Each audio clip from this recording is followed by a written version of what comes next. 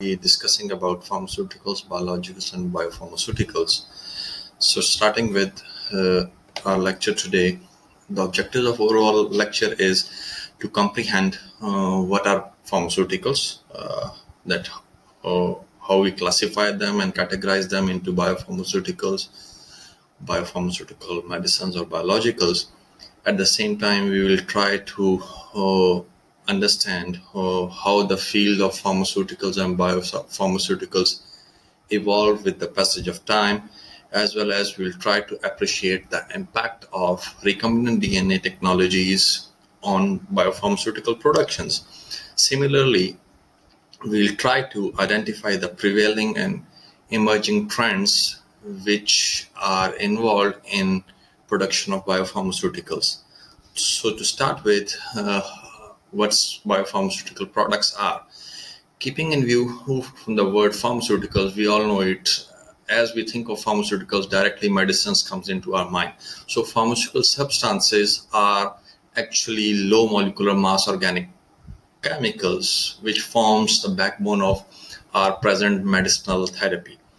If we take few examples uh, aspirin paracetamol and many other products which are actually originated from many biological sources. Later on if you want to divide this pharmaceutical how we could classify we could divide this pharmaceutical manufacturing into two types. Uh, one is the basic raw material bulk raw material manufacturing facilities and other is actually the pharmaceutical industry which is actually involved in finished product or the formulation of the uh, different pharmaceutical dosage forms. And these are actually the products we actually manufacture the products for using the raw material from the bulk manufacturing industry.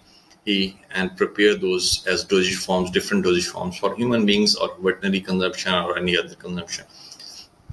Uh, if we come up to the point we know it uh, a range of pharmaceutical substances uh, which uh, includes which are mostly are biological substances such as hormones, antibodies, coagulation factors, enzymes, which actually produced from or isolated from different biological sources. And they were initially classified as biotechnological products. Uh, later on, we also come up to a point that we start doing chemical modification of few naturally occurring substances which are actually produced during fermentation process and such type and many semi-synthetic antibiotics which are presently used by all human beings presently. So if you want to now moving towards what basically biopharmaceuticals or biotech medicines or biologicals is. So as per the definition uh, which is given in the european journal of pharmaceutical sciences biopharmaceuticals are such products which are actually protein or nucleic acid based pharmaceutical substances used for therapeutic or in vivo diagnostic purposes, which could be either produced by means other than the direct extraction from the native or biological source. Means you can easily say that the genetic engineering is involved in such all biopharmaceutical products. The other is the biotechnological medicines or the products of pharmaceutical biotechnology any product used for therapeutic or in vivo diagnostics purposes, which is produced in full or in part by biotechnological means, could be classified under this biotechnological medicines. Means if we do even some alterations, which based on the biotechnological basis or molecular techniques, we call we could classify such products as pharmaceutical products which are produced by the biotechnology. Last but not the least is the biologicals. Mm, normally viruses, therapeutics, serums, toxins, antitoxins, vaccines, blood, blood, blood components, blood plasma, derivatives, allergenic products, or analogous products, uh, are, which are derived from other things and could be applied for prevention, cure, or treatment of disease uh, in human beings could be classified as biologicals, such as we can mention few like coagulating factors and uh, such things. If you want to classify based on the above definitions, if you want to classify a few of the products into three parts, we could easily categorize these uh, molecules, biological molecules, into two basic, two, three basic types, which is actually pharmaceuticals or pharmaceutical medicines. Uh, number one is if we talk of recombinant proteins, solely they are surely they are both. We could classify them as biopharmaceuticals or biopharmaceutical medicines. Monoclonal antibodies, again the same. Both are actually biopharmaceuticals or bio, could be classified as biopharmaceutical medicine. Protein obtained from direct extraction from native source. Certainly, they would not be biopharmaceuticals as no genetic engineering is involved, but uh, they are biotechnological medicines as they are isolated from the direct source.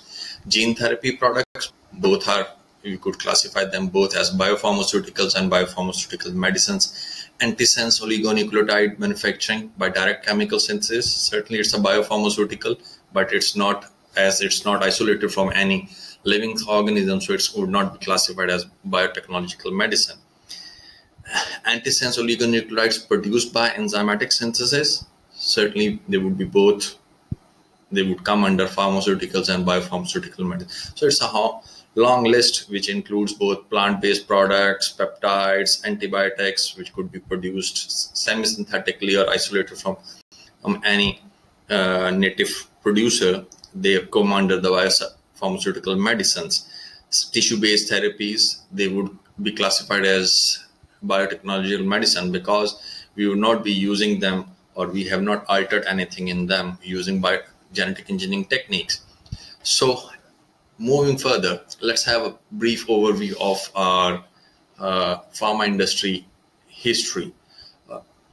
Uh, our, we could barely say that uh, our pharma industry is, or global pharma industry is just uh, 60 years old. But during this whole period, uh, pharma industry has uh, worked a lot and has grown rapidly with present worth of almost 935 billion and presently it is estimated that it would go up to 1170 billion dollars by 2021 uh, till now uh, with the rough estimates also postulated that almost 10,000 pharmaceutical companies are registered globally and out of this uh, almost 100 could be truly classified as international companies. The reason behind, the biggest reason behind is they manufacture in excess of almost 5,000 drugs which are used in various types of treatments. So these are the major big companies which are actually involved in the drug manufacturing.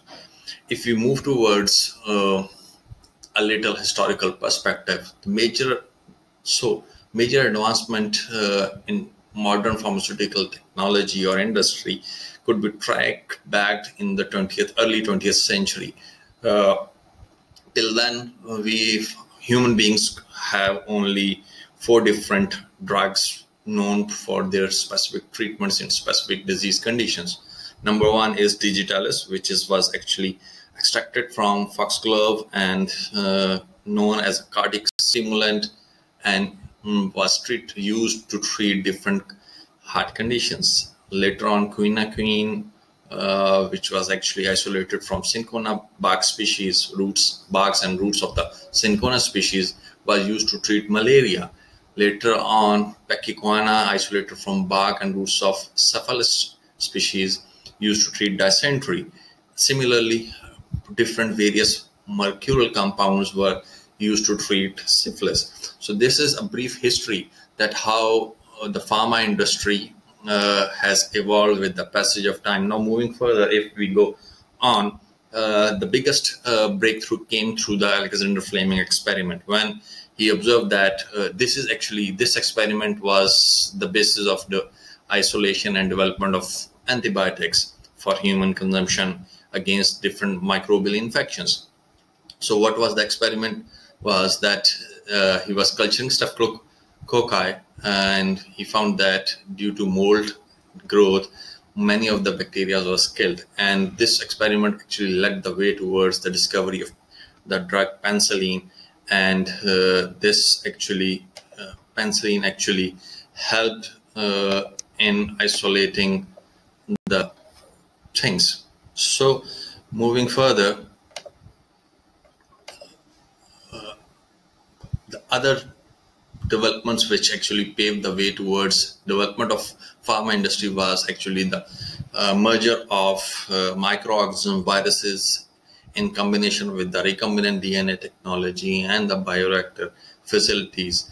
These actually combination of both these three, four things help us in producing different bioproducts such as antibiotics, insulins, and many growth hormones and other things. So basically, the recombinant, BI, recombinant DNA technology, bioreactor facilities, and the microorganisms along with, with the viruses assisted us in producing different biopharmaceuticals or bioproducts. So coming to how the recombinant DNA uh, technology has impacted biopharmaceutical production. Uh, biopharmaceutical research uh, has been been conducted by many scientists for the many years, and they have understood that uh, with the passage of time that many molecular mechanism underlying the diseases are based upon the host proteins, which uh, are either not performing properly or they are disturbed. So if we could manipulate with those host proteins, uh, which are actually disturbed due to certain diseases, we could alleviate the disease condition. And such host pro proteins are actually uh, the normal simple proteins which are circulating within the body. They are interferons, interleukins, erythropoietin, growth hormone, insulin, etc. So there are many long list of host proteins which are actually known to be underlying various diseases.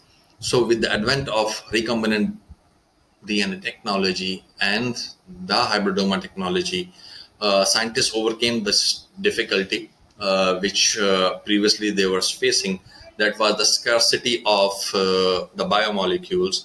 Uh, and the reason behind these all interleukins, interferons, erythropoietins are secreted at very less quantity within the uh, body. So if we want to produce them or isolate them from the normal organisms, it's too difficult because they are secreted in or produced in a very scarce amount.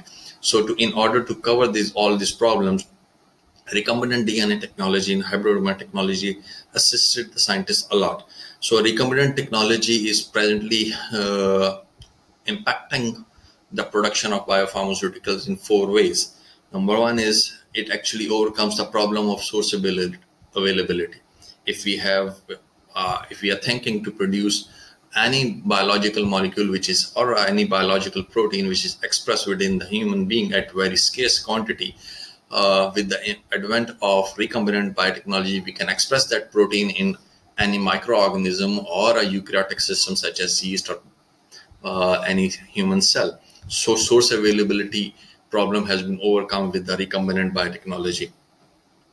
Moving further, it has also overcome the problem of product safety. If we have in past we have been isolating the products from or proteins, therapeutic proteins from the cow from other pigs and other animals. So they're always, or even human being. There were certainly there were problems to have to carry infections from there. Uh, humans were infected by many other viruses of the animals. So uh, product safety issue was resolved with the advent or with the development of recombinant technology techniques. Later on, uh it also provides alternatives uh, to uh, from direct extraction from inappropriate or dangerous source materials. Uh, there are many examples. You have seen that uh, if you talk of follicle stimulating hormone, this is actually uh, isolated initially from the uh, pregnant female urine. And we can easily consider that uh, it's really an inappropriate source to be to isolate FSH, uh, which is actually follicle stimulating hormone. So genetic engineering techniques have actually assisted us to go, or even if we think of uh, any, we want to design a vaccine against some snake venom, we could, uh, it's really difficult to isolate venoms from, from the snakes every time. So these all recombinant technology techniques have assisted us to as an alternative route for producing such compounds which are uh, not easily available or it's inappropriate sources for, or the, from where they are actually isolated uh, those sources are not appropriate. Last but not the least is the these genetic engineering techniques have facilitated uh, scientists to produce engineered therapeutic proteins and these engineered therapeutic proteins actually display uh, clinical advantages uh, over the native proteins. Uh, just for a few examples, if you go through this table, you can see that uh, uh, we have a multiple uh, have aspects of insulin. If you see here, so that we have here fast acting and slow acting insulins and we have modified few sequences and this could only be done with the help of uh, engineering techniques. And the end rationale is to have some fast acting insulin and some slow acting insulin. Similar is the tissue plasminogen activator. Uh, it's just again a modified. Few of the three of the five native domains from the tpa were removed. And uh, this actually helps in fast acting thrombolytic effects of this tpa uh, similarly, if we talk of this ONTAK, a fusion protein, and uh, in this we are actually fusing the protein of diphtheria toxin with interleukin 2. So, if uh, which actually helps us in uh, specifically targeting the cells which are actually have the interleukin 2 receptors with them. So this is how oh, these modifications actually assist in having better products or better biopharmaceuticals to be used or consumed by the humans. Now, uh, to conclude or to have an overview that uh, what is the present scenario uh, of biopharmaceuticals uh, are and what are the emerging trends or what are the future prospects of biopharmaceuticals. Uh, to be very realistic, uh, by mid of 20th century, almost 150 biopharmaceuticals, uh, which are actually produced through biotechnological techniques or recombinant DNA techniques, uh, they gained approval by the US and EU drug registering authorities. Uh, but uh, and most of these biopharmaceuticals were actually uh, replacement proteins means uh, these are such simple replacement proteins such as blood factors human insulin growth hormone and majority of these recombinant proteins were actually produced uh, in e coli or uh, uh, a yeast that is S. cerevisiae or in few animal cells animal cell lines such as uh, chinese hamster ovary or the baby hamster kidney cells cell lines. These are the two cell lines which are normally used by the scientists to have recombinant protein expressed in them. Uh, if we talk of now presently at least uh, 500 different potential pharmaceuticals are under clinical trial uh, and vast majority of them are actually the vaccines and monoclonal antibodies. Uh, on the other hand we also have in line uh, many other uh, nucleic acid based products uh, evolve towards as future therapeutic inventions, and they include the antisense, uh, aptamers, RNAi based products. So these are all, most of these are also again under clinical trials, and in future we could have them as thera- therapeutic interventions. Last but not the least is actually the plant based transgenic proteins, or we normally call them as oral vaccines. Uh, scientists are working on them, and we could potentially have such oral vaccines in future too. So, to have a little um, brief on various things, uh, what are the future trends, emerging trends which are on the way, and how people are working. I just figure out a few pictures uh, to make you elaborate how recombinant vaccines, monoclonal antibodies, and these are prepared and how they help us in developing certain therapeutic interventions to treat the disease. If we come up with the uh, certainly with vaccines, talk of the vaccines. Say, for example, we have a hepatitis B vaccine uh, virus here. It's a DNA virus. We all know it. And if we want to produce uh, HB antigens out of it, what we would do is uh, uh we will be cloning this HB antigen gene into a recombinant plasmid, which could express this uh, recombinant HB antigen DNA in it. So what we do, we have a bacterium out of which we cut the plasmid with a restriction enzyme and we clone this HB antigen gene to this plasmid to make a recombinant plasmid. We transfer this recombinant plasmid into yeast to express this recombinant plasmid and it will produce HB antigen.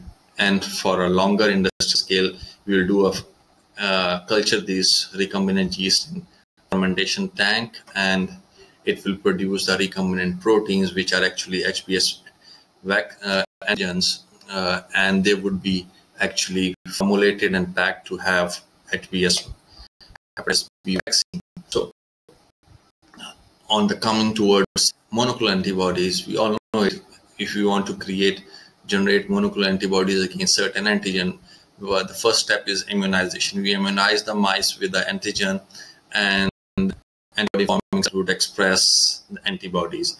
What we do, we will, the next step is we will isolate the immune cells and we will, third step is we will isolate the tumor cells. And now comes the technique of hybridoma we actually we fuse these two cells, that is the uh, immune cell and the tumor cell to make a hybridoma cell. And this hybridoma cell has a characteristic to create uh, or secrete antibodies. So the next is to screen all these hybridoma cells. And this screening is done using the antigen we have uh, used to create these antibodies or and these antibody producing hybridoma cells are screened and later on we'll select one clone uh, for clonal expansion to generate monoclonal antibodies from that clone.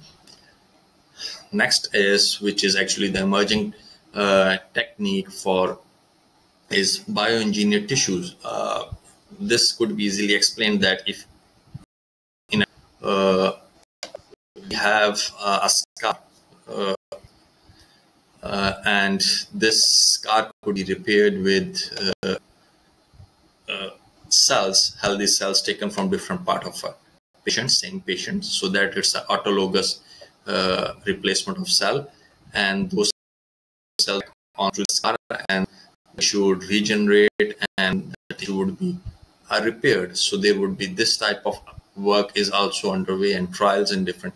Uh, the fourth is the RNA interference. Uh, this is an interesting phenomenon. Uh, so it was initially identified in many organisms, including the plants and microorganisms, but now it's even observed in humans. So uh, what happens is we have a double-stranded RNA or a, a hairpin loop forming RNA. There is an enzyme or a complex called dicer which actually breaks or the strands into single and this siRNA actually forms complex with RISC And this RISC actually, this along with this single strand RNA would join to mRNA specifically and target this mRNA for silencing. What happens is this RISC along with the siRNA would make a complex with the mRNA and this complex would actually initiate the degradation of the target mRNA. In this way, the gene silencing would take place, and these techniques could be even applied to treat various diseases uh, in humans. So, so if we move further,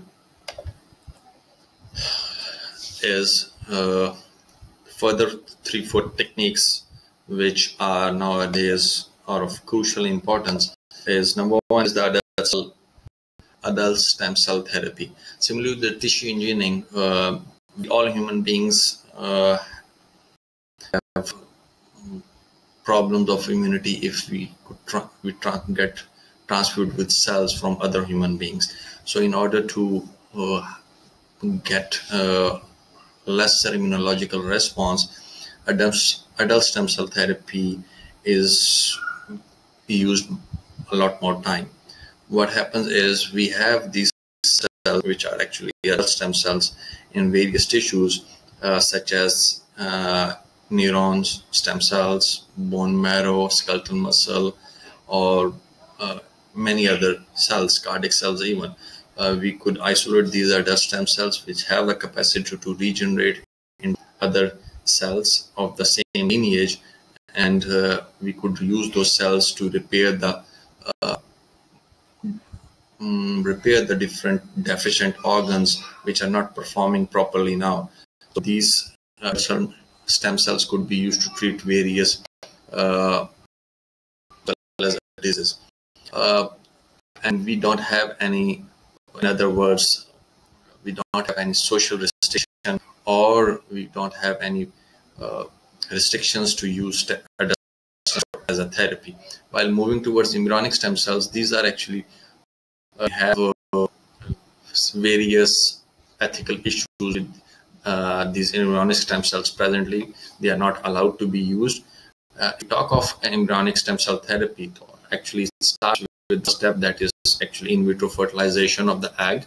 And after five to seven days, we uh, it's a the site is formed and from the inner the third step is from the inner mass we actually isolate these uh, embryonic stem cells. Later on, we culture these embryonic stem cells, and the step is they could these embryonic stem cells could be again regenerated into or differentiated into any type uh, where we want to uh, repair the organ organ of an any individual.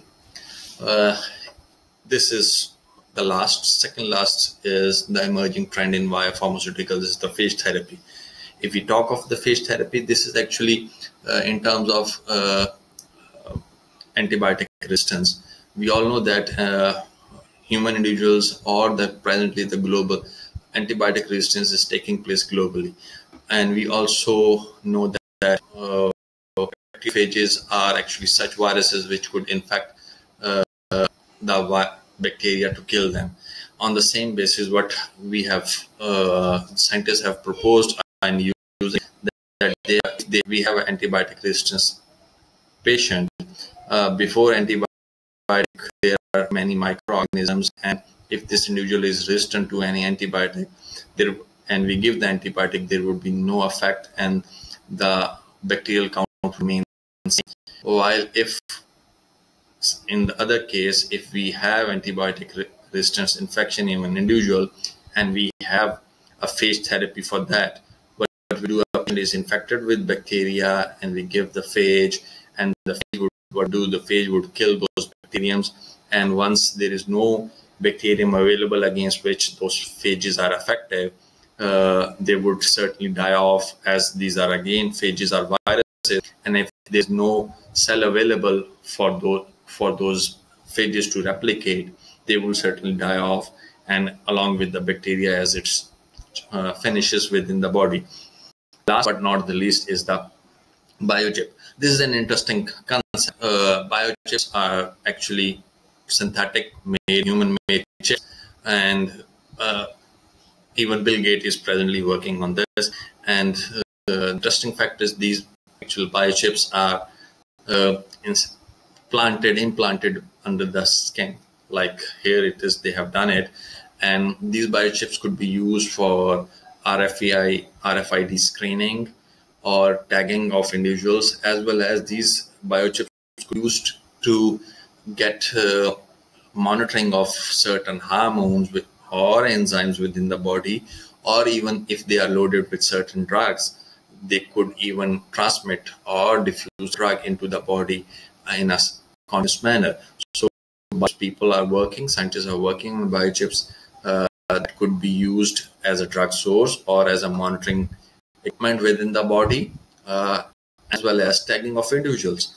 So to end with uh, this presentation, uh, we are now able to understand what pharmaceutical compounds and uh, how we could classify and compare amongst the biopharmaceuticals and the biotech medicines and biologicals. Similarly, we assimilated what uh, and how the pharmaceutical and biopharmaceutical uh, field progress with the passage of time and later on we discussed how the recombinant DNA technologies uh, actually paved the way in developing biopharmaceuticals and what are the different emerging strategies uh, which are actually now coming way towards human beings to be utilized as therapeutic interventions or various biopharmaceuticals which are under clinical trials. So, uh, thanks for today and hope to see you tomorrow.